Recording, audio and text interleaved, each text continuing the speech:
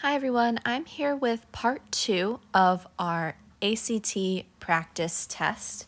Once again, um, I am not affiliated with ACT, I'm just doing these problems to help anyone who may need it. Um, part one is already up and this is part two or it's page 25 of the practice test that I'm going to link in the description. so let's get started. Number eight says Manish drove from Chicago to Baton Rouge. At 8 a.m., he was 510 kilometers from Baton Rouge. At 1 p.m., he was 105 kilometers from Baton Rouge. Which of the following values is closest to Manish's average speed in kilometers per hour from 8 a.m. to 1 p.m.? Um, and once again, as you see, I have all the circles answered. That's from the ACT's answer key. So I circled all the answers so we're making sure we're getting the correct answer at the end and I don't make any silly mistakes. Okay, so we're doing kilometers per hour. So let's see. He was originally at 510 and we're going to subtract that 105 to see what a difference he made. And at 510, that was at 8 a.m. So 8 a.m. to 1 p.m. Okay, so let's do the top first. so 510 minus our 105, that's going to get us 405. So 405 kilometers. And down here, so 8 to 9, 10 to 11, 12 to 1, that's 5 hours. They want to know how many what his average speed is in kilometers per hour, so per one hour. So at the bottom, we have five hours, but we want one. So I'm going to divide that by five to get one, and whenever you do the bottom, you have to do the top. So 405 divided by five is 81 kilometers per one hour, which is letter H. Number nine, in the figure shown below, E and G lie on AC, D and F lie on AB, D and FG are parallel to BC, and the given lengths are in feet. What is the length of AC in feet? So this is just a typical similar triangles problem. So we're going to set up a ratio. So I'm going to start by looking at this small triangle right here. Okay. So AD, which is this, is 8. So I'm going to do 8 over 16. And I'm going to set that equal to, let's look at our big triangle here. Because we're trying to find this whole thing AC.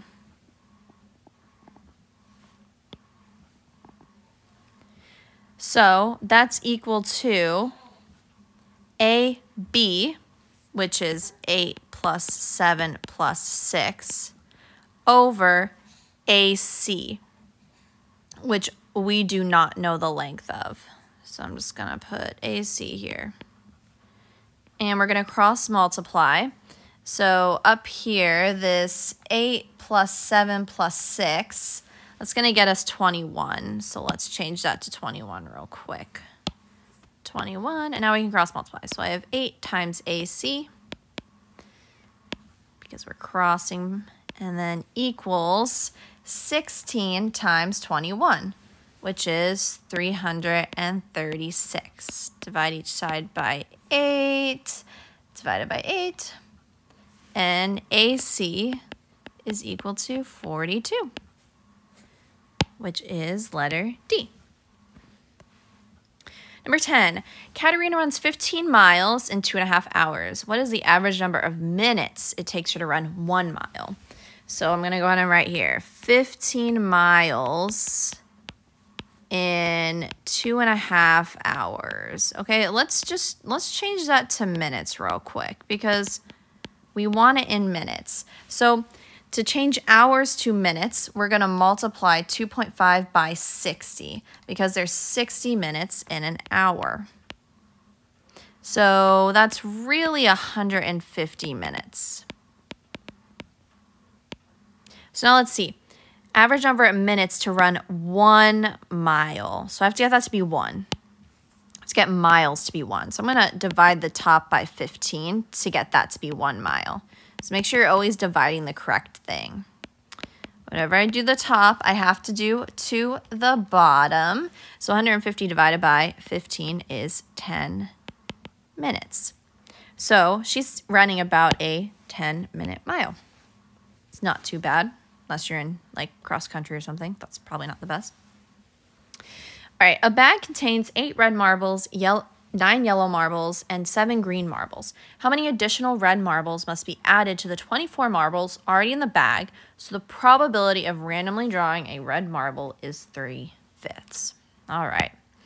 We want the red marbles to be 3 fifths. We have eight red marbles. So how many do we have to add to get it to be 3 fifths? So see how I took my eight red marbles plus however many more I need to add.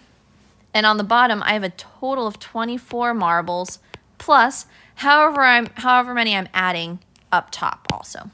So it's just a proportion problem. So I'm going to put my parentheses. And let's start cross multiplying. Oops. All right. 5 times 8 plus x equals 3 times 24 plus x. Now it's just an equation to solve. So I'm going to distribute. 8 times 5 is 40. 5 times x is 5x.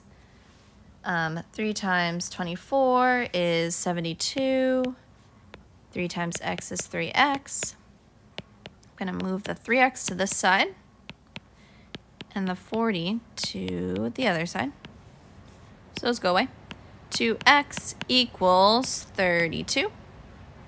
Those are gone. Undo multiplication with division.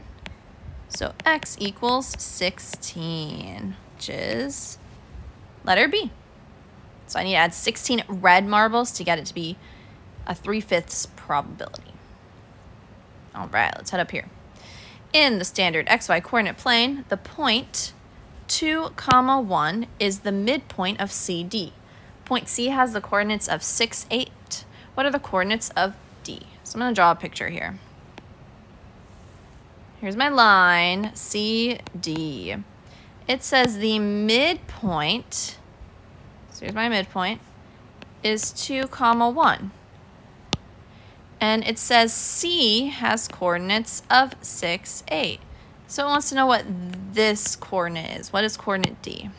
Well, let's just look. If this is the midpoint, M is the midpoint, then let's just see how much it took us to get from C to M, and that's going to be the same distance to get from M to D. So 6 plus what, or 6 minus what I should say, is 2 minus 4. 2 minus 4 is negative 2. 8 minus what is 1? Minus 7. 1 minus 7 is what? Negative 6. So my point D is negative 2, comma, negative 6. So letter G. At his job, the first 40 hours of each week that Thomas works is regular time. Any additional time that he works is overtime. Thomas gets paid $15 per hour during regular time. During overtime, I'm gonna I'm gonna just you know start underlining things because this is a lot going on. During overtime, Thomas gets paid one and a half times as much as he gets paid during regular time. Great. So he worked 46 hours in one week.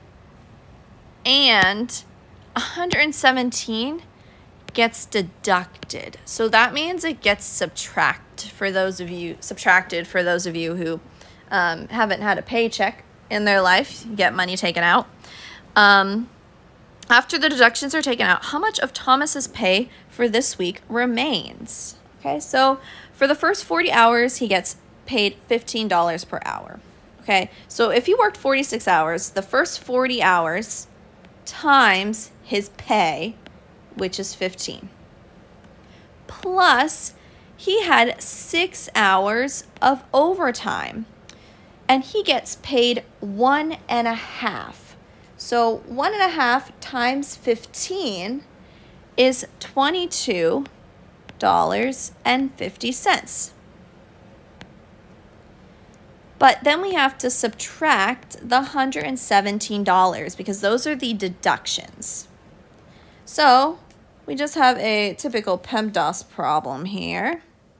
40 times 15 is 600 plus 6 times 22, 50 is, let's see, 135 minus 17, 117, excuse me, 600 plus 135 minus 117 is $618, which is letter D. All right. Two more, we're almost there.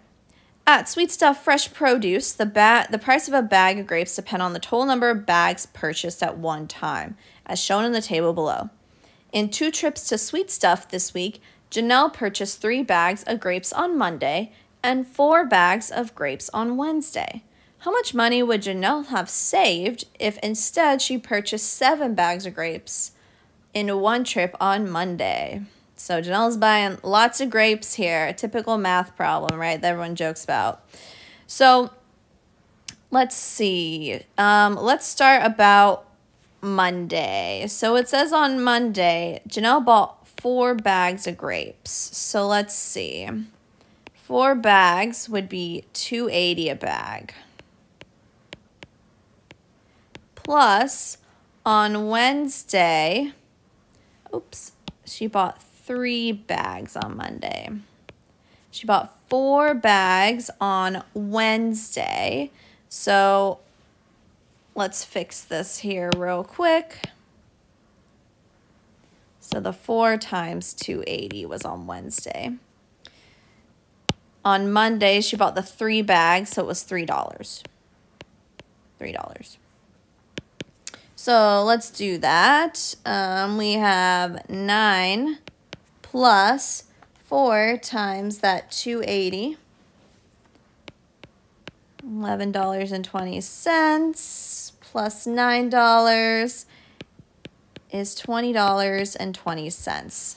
Okay, so that's how much she actually spent. Now, it wants to know how much would she have saved if she did seven bags on Monday. So on Monday, seven bags would have just cost $2.60. So 7 times $2.60 is $18.20. So subtract those. $20.20 minus $18.20. She would have saved $2 if she had bought all her bags of grapes on just Monday instead of going two different days. So our answer is J. Ooh, last one. Okay, what is 3% of 4.14 times 10 to the fourth power? The first thing I would do is I would get this out of scientific notation. If it's a positive exponent, that means the number is going to get bigger. So we're going to move the decimal place to the right four times. Let's do that. One, two, three, four. Let's put some zeros there. So this number up here is really 41,400. And we want to know what 3% of that is. So multiply that by 3% to a decimal Remember, you move the decimal place over to the left two times. To the left, to the left, if anyone learned that.